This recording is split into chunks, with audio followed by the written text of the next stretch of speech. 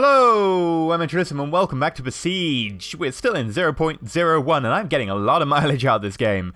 Um, one of the things that we never managed to quite create working was a, a ballista, and I really want to make a ballista. I kind of think that ballistas are really cool, and, you know, historically they had a lot of going for them, especially, you know, going all the way back to the Roman era when they were using, you know, simple onagers type catapult things. Ballistas were actually pretty damn cool, and they were more complicated to make, they were more expensive, but they're pretty badass, uh, especially considering the technology of the time. So, I want to try and make one. Um, where should we test it? We can test it in the sandbox, or we can test it in an actual level. Let's have a look at the sandbox, just because we haven't loaded the sandbox up yet. So, hello there, Sandbox. Um, let's turn free build mode off so we can actually make this, like, so it'll actually pass the test. Oh, you can turn free build mode on and off, by the way, in any level. Problem is, if you've got it off, um, yeah, if you've got free build mode off, i.e. you have limits, you can't progress in any of the levels. So you can create something awesome, but it's like, yeah, you can't level up from it. Which is a nice touch, I like that. So what we're going to do is we're going to build a ballista, and Oh, come on. Come on. Play ball. Well, going to be very weird about how it's going up and down sometimes if I'm looking at it from an odd angle. It's very much very jerky and it's going down occasionally, which is weird. Right.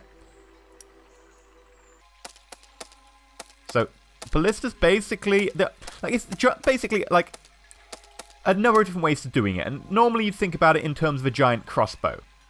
So effectively these front arms, which are made of a very, uh, a very, you know, strong but bendy wood and then they all sort of bend and take the load, and then that releases. Now, in uh, Besiege, you don't really have that. Like, pieces don't really bend so much as break, like Balsa would very quickly.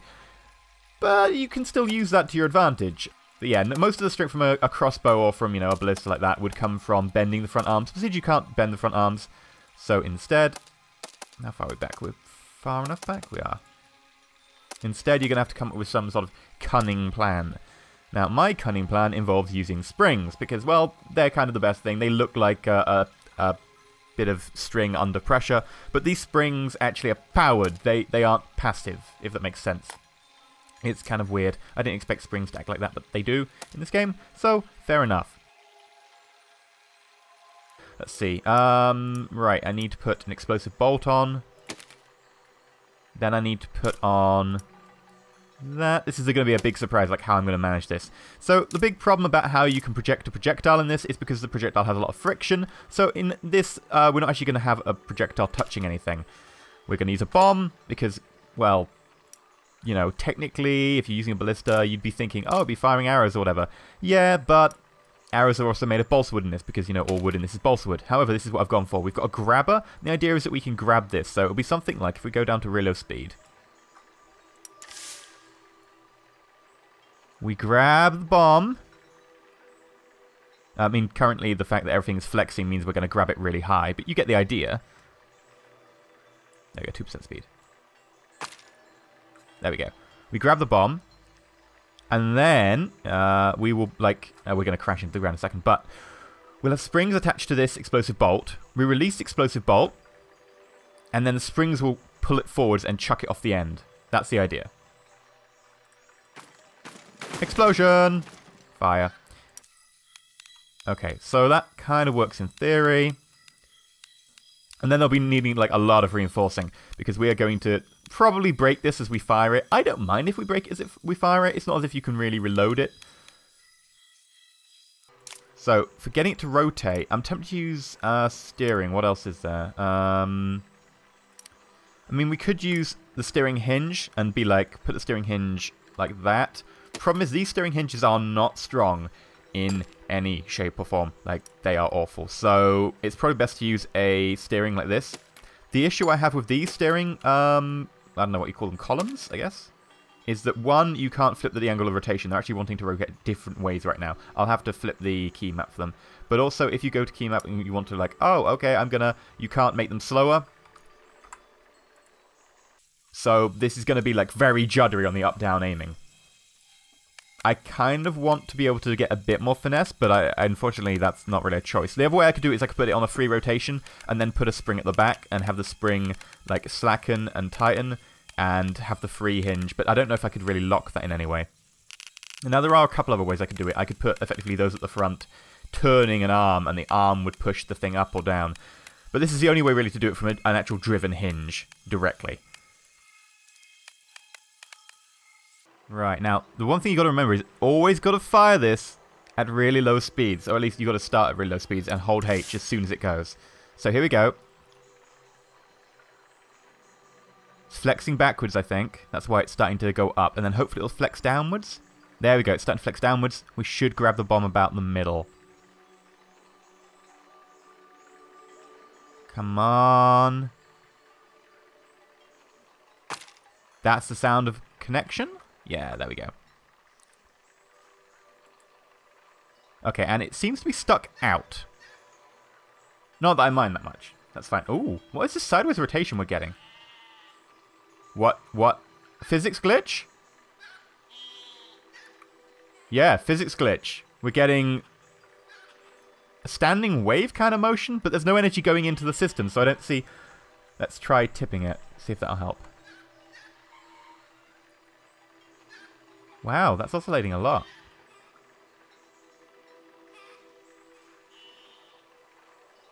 That's going to make it really difficult to fire. Right. Let's try and get, you know, a lot of height on this. I want to see how far we can throw it, ideally. That'll get rid of the standing motion. Now let's put the car down. Car down. Okay, that'll do. Right. Now to fire it, we have to go down to low speeds. We're still oscillating, which is going to be annoying for when we're firing. Okay. And then to fire it, you want to hold J and L immediately, so you are tensing while you've just, like, fired off the, uh, the explosive bolt. Here we go. And then as soon as this gets to the point where it's going its highest speed, you want to hold V. And V will detach the bomb, I believe, on the grabber. So here we go. I'm getting a bit of height on it. There we go. V, V, V, V, V.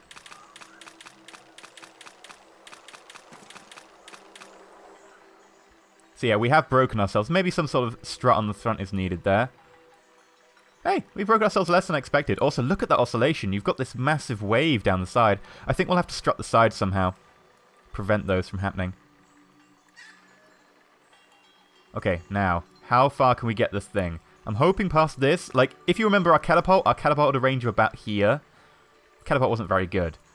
But it looks like we've already beaten the catapult. Let's go up to about 4% speed. Here we go. Do do do do do do do do do do do do do do do. Yeah, well, that's that's beating the catapult already. I can't move the camera any further back.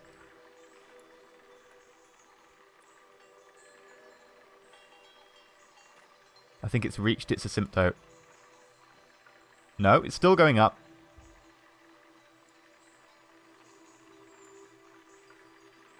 7% speed. Bye bye bomb. Wow, that bomb is a long way away. I can't I can't actually go see it. It's too far. Oh my god. Yeah, I love this. This works perfectly.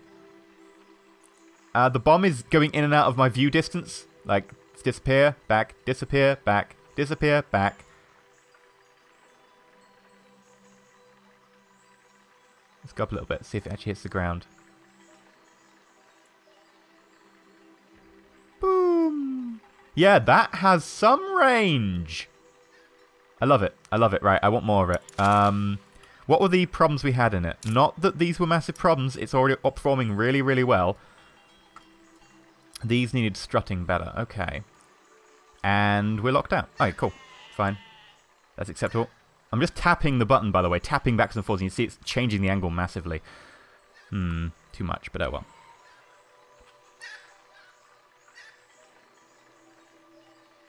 Let's see if we can destroy the windmill, actually. We'll need to aim down a lot for that. 200%, and hopefully it'll sort itself out.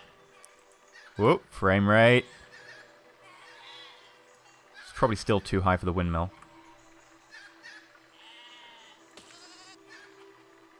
Did another sheep die? They really do like dying on that, don't they? Okay. Ready?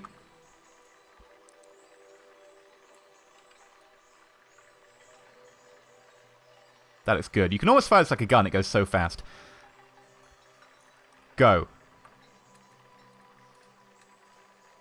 Accelerating. It looks like we're going to be low rather than high this time coming off the front. Accelerating. Oh no, we are going high. Yep, it's bending up slightly. Accelerating, and now we're going slower. So detach, detach, detach, detach, detach, detach, detach. Yeah. Okay.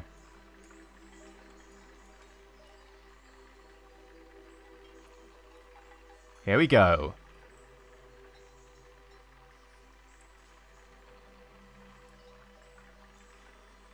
Oh, is it going to be a miss? Oh my god, just slight miss. To be fair, that was pretty central. Uh, we just didn't compensate for side to side. Okay. We can we can do this. We can compensate for side to side. Let us use forward, backwards. Tank controls are best. Okay, that's beautiful. Um, probably need to aim down again a little bit. Massive difference in... Ah, I wish they put a slider on that one. It is alpha. Like, you do have a slider for the wheels currently in terms of the wheel speed. But it'd be nice to have a, a slider for the uh, most joints as well. Let's try and get this. Come on.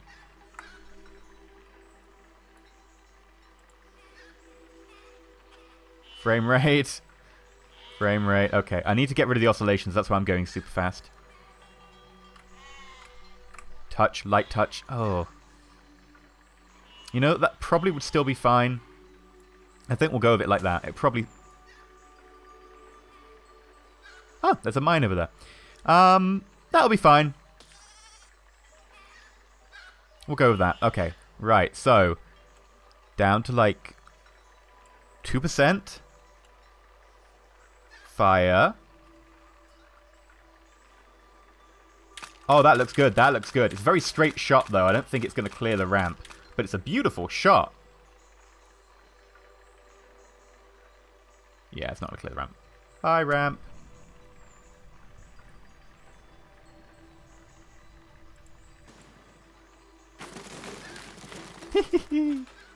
Fire.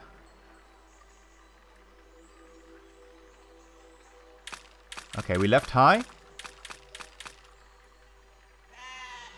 We look to be on course. Oh, that looks good. That looks good.